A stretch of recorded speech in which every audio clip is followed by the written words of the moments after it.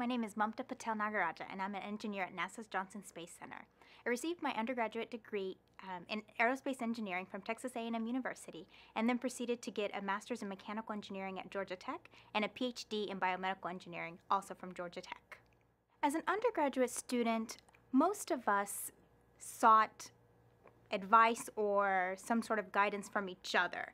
It seemed that it was natural for us as undergraduate students to be drawn to each other. We formed teams. My particular team were, um, was composed of two girls and two boys. We ran the gamut from theoretical knowledge to practical knowledge. Some of us were better in some areas of aerospace engineering, while the others were better in other areas. So I really would urge undergraduate students to form a team. You may not know at the onset that each of your skills make such a great mix as I've described, but eventually you'll learn who you work with best. And as you become an upperclassman, you start narrowing the number of people who are around you, and it'll be much easier to figure out who works best together. I also chose a team that wasn't very large. I found that the larger study groups tended to waste more time, and I was there to get my education, and that's why I was in college. So I chose a group where I could still have the social aspect because that's important in college. But also, we, when we were together, we worked and then we played.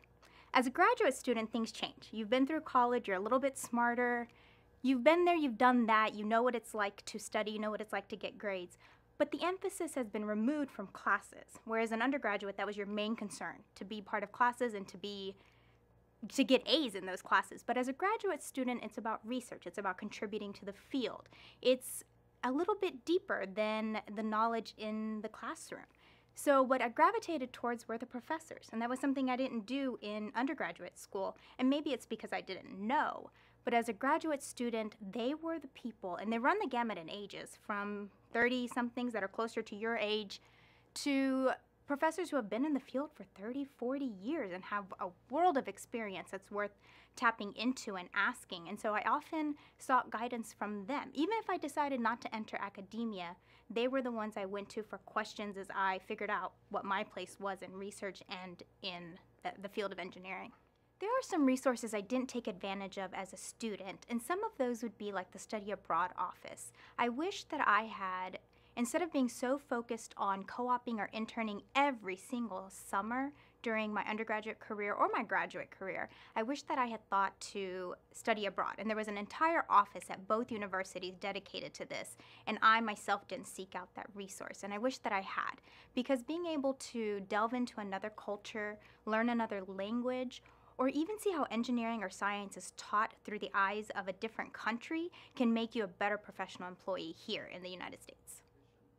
Transitioning into the workforce after being a student really meant relying on a mentor. And if it wasn't a mentor, if the mentor you were assigned wasn't a good match, then it was finding that employee in the group or outside of the group and at the same company that could help you through the small things. Sometimes it's simple things like um, who to talk to in HR when you are trying to fill out the incredibly confusing insurance forms, or whether or not you need life insurance at that time in your in your career. So sometimes it was just finding that mentor or that other employee who could help you with simple questions like that. And then technically, as you proceed through work, your mentor really is that person who's going to help you figure out how to take that classroom knowledge you gained in school and apply it in a real world setting.